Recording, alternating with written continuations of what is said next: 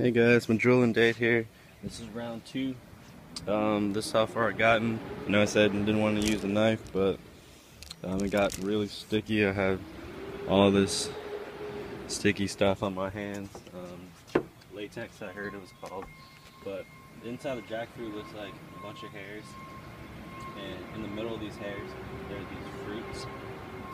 And to get them out, pretty much have to separate the top part that connects really a stronger bind than the bottom. And what I do is like,